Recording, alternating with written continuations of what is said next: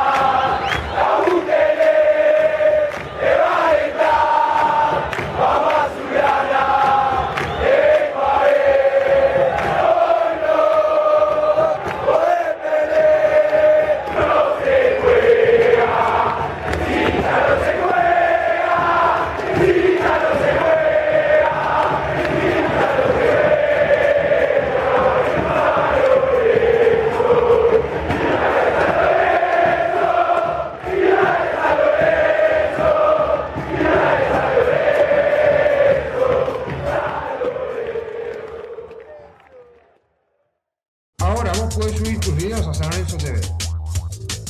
Es fácil, hará con tu celular, cámara o filmadora. Completá los datos y en segundos todos los foros van a ver tus videos.